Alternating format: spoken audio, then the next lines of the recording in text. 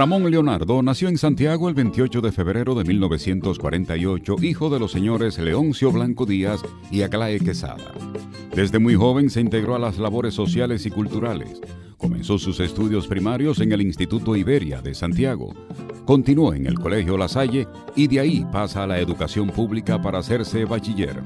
En la secundaria es cuando comienza a estudiar música. Recuerda que su primer profesor de música fue Primitivo Santos, quien le estuvo enseñando a tocar el acordeón. Primitivo tuvo que viajar a Nueva York y Ramón Leonardo optó por inscribirse en la Academia Municipal, donde a su vez aprende a tocar trompeta. Más tarde aprendería a tocar la guitarra a través de las enseñanzas de un vecino.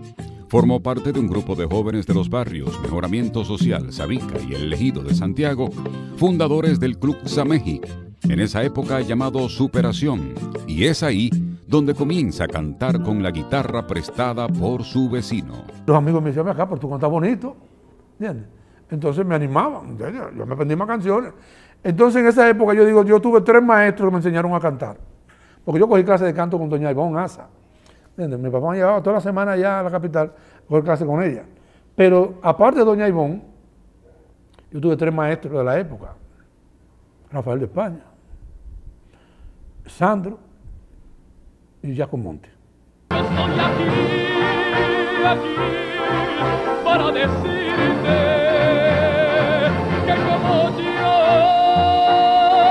nadie te amó. Por algún camino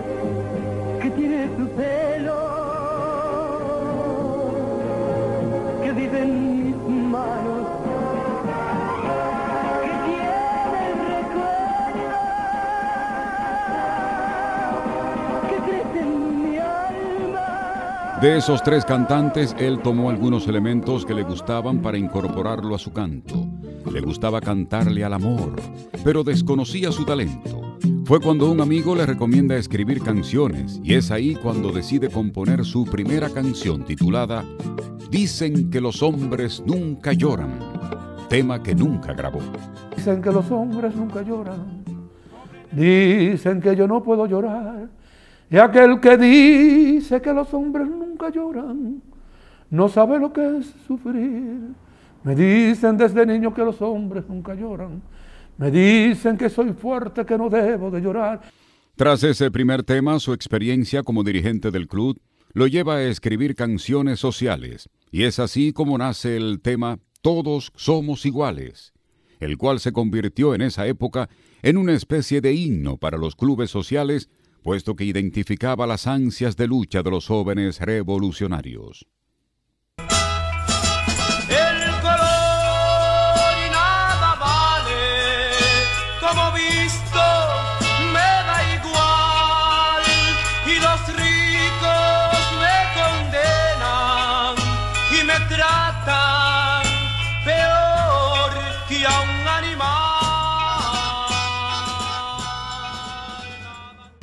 Para ese tiempo, Ramón Leonardo decide estudiar en la Universidad Católica Madre y Maestra, actual Pucamaima, de la cual se gradúa en 1970 como técnico en maquinaria industrial.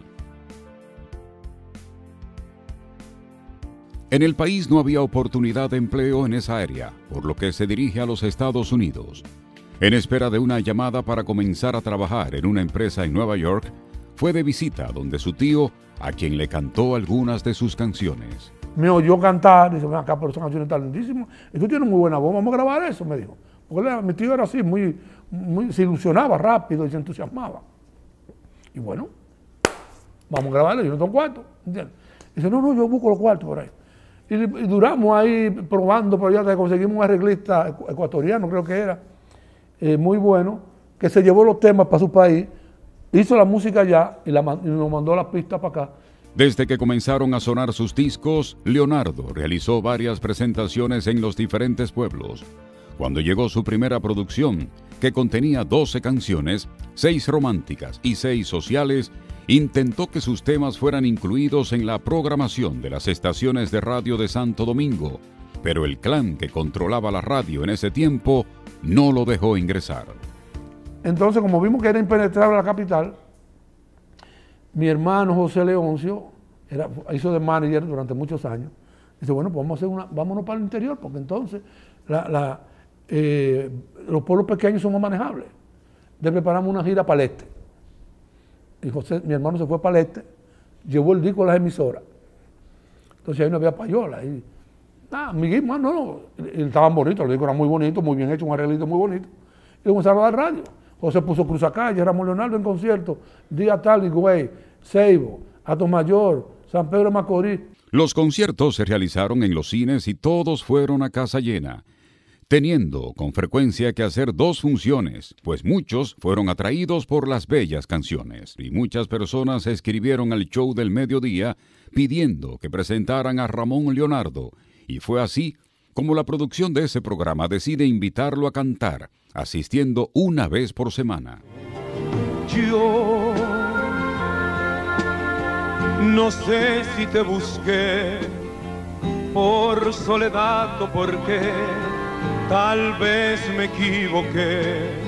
Yo no quise hacerte mal, yo simplemente te necesité.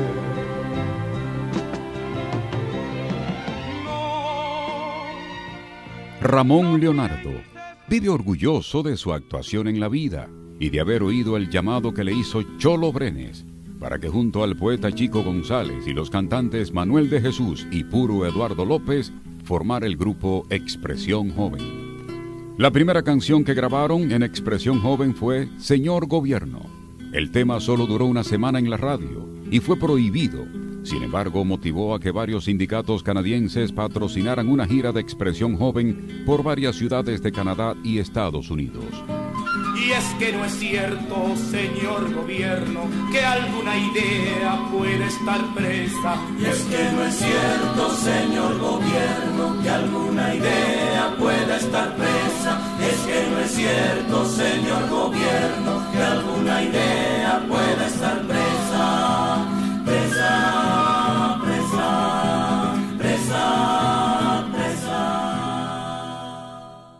Y Chico escribe la letra de Francisco Alberto.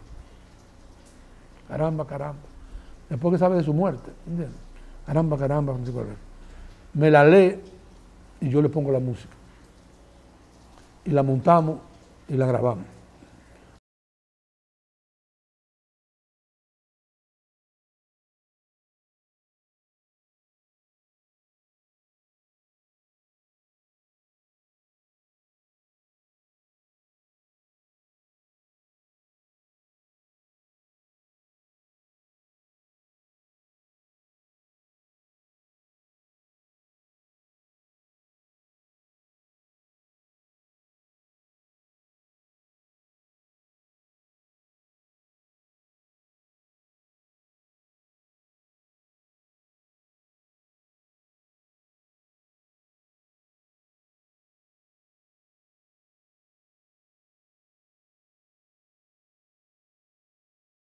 Solamente una sola vez, estando prohibida. Fue el mismo día que la prohibieron. El mismo día que la prohibieron, eh, yo tenía un show en, en, en la, Venez- la Venezuela de, de Sancho Sama, en un club que había ahí. Yo tenía un show y, ya había sonado que la habían prohibido. Yo sabía que estaba prohibida ya ese día. Había salido publicado en la noticia. Y yo dije, bueno, eh, y me pidieron, canta Francisco Alberto, canta Francisco Alberto. Pues estábamos nosotros. Y yo dije, es el primer día, tú no estás atento a eso, ¿tú me entiendes? Estaban atentos, ¿entiendes? Es para cantar allí, achechen a ver si canta. Y cuando yo estaba cantando a mitad de canción, entró la guardia. Y allí se armó un corre-corre que por poco hubieron muertos ahí. Me trasladaron al, al cuartel ahí de la, del ensancho Sama. La persecución contra Ramón Leonardo era constante. Previo a la celebración del festival Siete Días con el Pueblo, fue apresado en Loma de Cabrera, donde permaneció por cinco días en una celda solitaria. Al ser liberado, participó en el festival con la advertencia de los organizadores de que no podía cantar el tema Francisco Alberto. El problema era que yo comenzaba con la guitarra haciendo la introducción de Francisco Alberto. De la gente se gritaba, ¡ay, lo va a cantar, lo va a cantar! Yo decía, se parece, pero no se puede cantar, porque está prohibida. Entonces comenzaba a hablar de Francisco Alberto. Y decía más hablando con el ragueo de la canción que si lo hubiera cantado. Entonces, era, como decir, oye, el tipo no lo está cantando, pero casi lo, lo está diciendo. ¿tú me entiendes? Años después, Ramón Leonardo se entera que el entonces presidente Joaquín Balaguer estaba viendo su presentación en siete días con el pueblo, según le contó un militar que era en ese tiempo edecán de uno de los oficiales que estaba con Balaguer en ese momento. Y como tú estabas cantando, dice Balaguer, pues, eso es lo que se llama un joven del pueblo. Mírenlo. Ojalá yo tenga mucho como ese en el partido. Durante los 12 años de Balaguer, las autoridades intentaban por todos los medios posibles impedir que Expresión Joven se presentara, razón por la cual preparaban exagerados operativos en los sitios donde se presentarían. Ramón Leonardo cuenta que en uno de los tantos operativos, un coronel le impidió llegar al pueblo donde se iba a presentar, alegando que no podía entrar a la zona. Al día siguiente, cuando Ramón Leonardo se dirigía a la capital, observa una publicación en el periódico que habla sobre un posible atentado en su contra. Y el titular de primera plana decía, asesinarían a Ramón Leonardo. Yo. ¿quién era que me iba a matar? Y me paro y cojo un periódico. Del coronel de la Paz de León de San Francisco de Macorís, le dijo a los periodistas que esperó a Ramón Leonardo en la entrada, la versión que él decía, y lo devolvió para preservar su vida, porque había recibido noticias de que iban a intentar asesinarlo durante su presentación, pero que él puede venir cuando él quiera, no hay ningún problema. Tras el asedio, Ramón Leonardo se reúne con el entonces jefe de la Policía Nacional, el general Rafael Guillermo Guzmán Acosta, para buscar una solución a los acosos injustificados. Guzmán Acosta ordenó a través de un telegrama todas las dotaciones explicando que no había razón alguna para la persecución y apresamiento al cantante. Comienzo a cantar. Y comienzan las canciones sociales que no son prohibidas. Pues yo no cantaba canciones prohibidas. Entonces, cuando yo tengo una canción social, yo siempre dando chivo, estoy viendo por alrededor y, yo y veo como un movimiento raro de gente que están entrando, que no son públicas. Y se le veían unos buticos aquí, ¿entiendes? Algunos del militar. Entonces ahí se me acercan los muchachos y me dicen, Ramón, el coronel dijo que tú podías cantar, pero que si cantaba una canción de protesta te iba a trancar. Digo, eso soy yo por el micrófono. Y dije, coño, ahora que tú me lo dices. Yo llevaba como cinco. Bien. Así mismo fue. Terminé de cantar. El coronel quiere verlo. Para eso.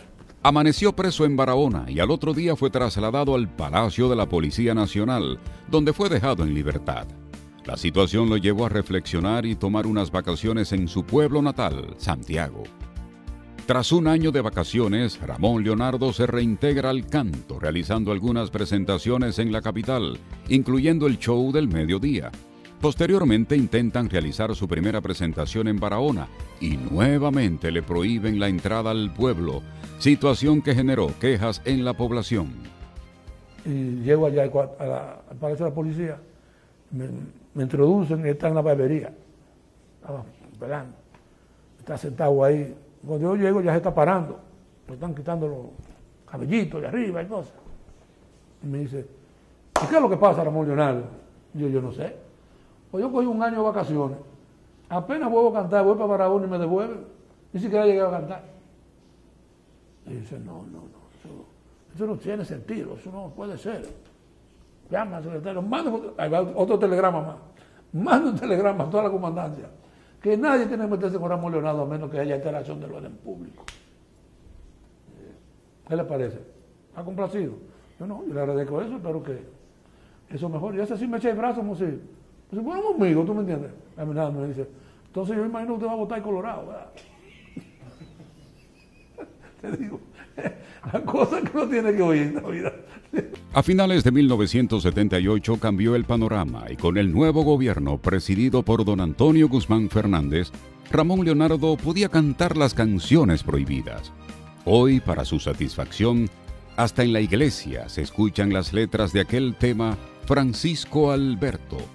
Actualmente Ramón Leonardo se encuentra en recuperación tras someterse a una cirugía y dice sentirse orgulloso de la solidaridad que recibió del pueblo dominicano. Mi comandante te hiciste, te hiciste el marco en la sierra, que lo creyeron que bueno, Francisco Alberto, caramba.